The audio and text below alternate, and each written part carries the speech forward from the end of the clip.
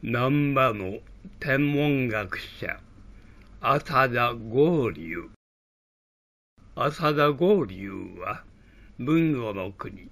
木月藩の儒学者、綾部安夫の子として生まれ、前半生は、藩の医師として勤めながら、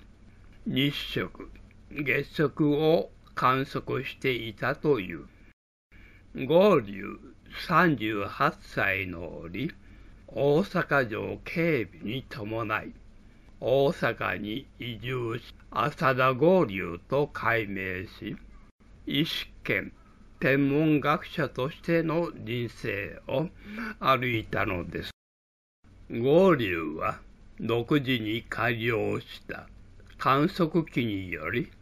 観測データを積み上げ、それにより天体の運行の法則を計算し、観測データを積み上げていったのです。中でも、合流が生涯かけて観測を続けたのが日食と月食の観測だった。日食、月食は宇宙空間の中で太陽と月と地球が一直線に並んだ時に起きる現象で、合流はこの瞬間の三つの天体の位置関係を観測、計算し、その後の現象を予測し、従来使われていた暦より正確な暦を作ろうとしたのだった。大阪で弟子の斡旋により、合流が新たに手に入れたのは、オランダ渡りの反射望遠鏡だった。この反射望遠鏡で観測した様子が、合流が手紙で、ふるさと、基地にいるバイアンへ書き送った月面の図だ。50年後に、近江の鉄砲火事、国友一貫祭による反射望遠鏡の製作と、それによる精密な月面観測の先駆けと言えるだろう。ここに浅田合流が使ったオランダ渡りの反射望遠鏡と、国友一貫祭が制作した反射望遠鏡の写真を掲げておきます。次に、浅田合流の月面観測の図と、国友一貫祭の月面観測図を掲げておきます。両者を比べると、50年間の時の経過を感じる。後から制作、観測する者は、先人の自責を検討し、改良を加える結果、より精密になるのは当然だろう。合流、日食を予言する。日食は太陽、月、地球がこの順序で直線に並んだ時に起きる現象で、地球から見た太陽が新月、すなわち太陽と同じ方向にある月によって隠される現象だ。ここに各地の日食の繊維の図を掲げておきます。当時使用された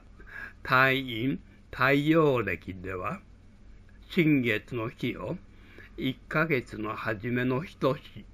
1年間の暦を作成していたから、日食は必ず1日に起こるはずだ。しかし、幕府天文型が作った暦では、天体観測は正確ではなく、計算と天体現象にズレが生じ、日食が2日に起こったり、月末、すなわち29日や30日に起こったりした。一方、月食は太陽、地球、月がこの順で一直線に並んだ時に起きる現象で、満月が月の影に入って暗くなる現象だ。月が満月になるのは1ヶ月のほぼ真ん中の14日か15日の間で月食は必ずこの間で起きるはずだった。しかし、幕府天文型が公表する暦が正確ではなく、月食がこれ以外の日に起こったりした。合流は幕府の暦の予報と実際に起きる日食や月食の現象が一致しているのかどうか、暦と実際の天体現象が一致しているのかどうかをほとんど毎日夜空を観測し続けたのです。その結果、何度か幕府歴に予報されていない日に日食や月食が起きることを自分の観測結果により確かめたのだ。合流はその都度天球上の太陽と月の位置、動き方を詳しく観測し、その正確な位置関係を計算し、記録していったのです。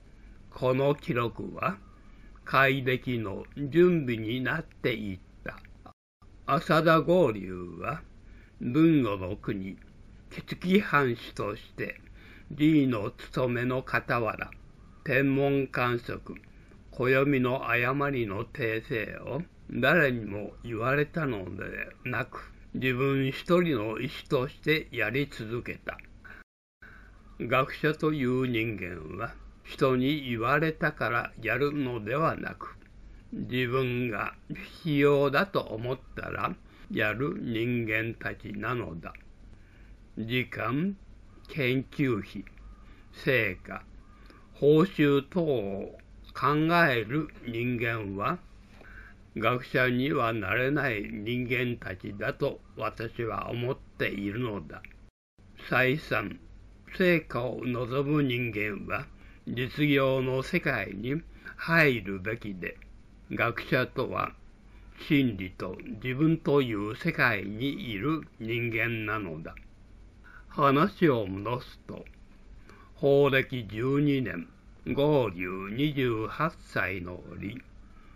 合流は来年の暦に大きな間違いを見つけた。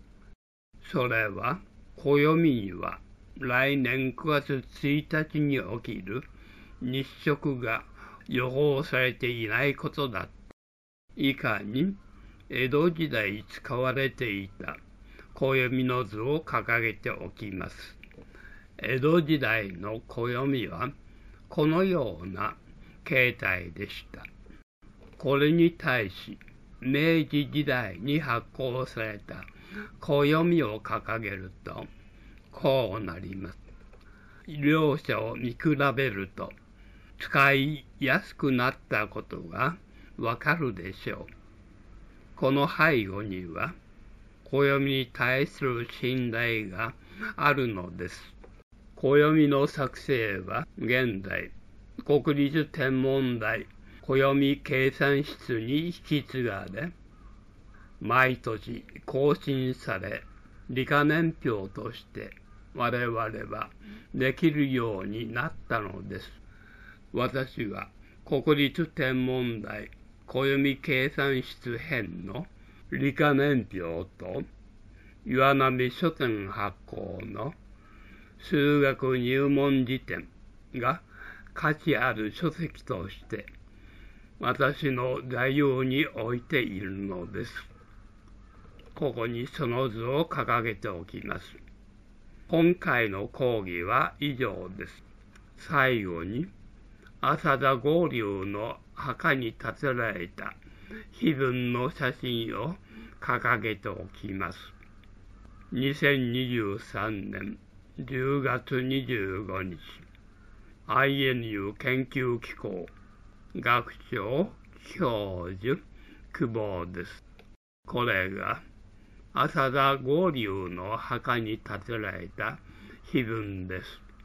内容は漢文のため私にはわかります。以上です。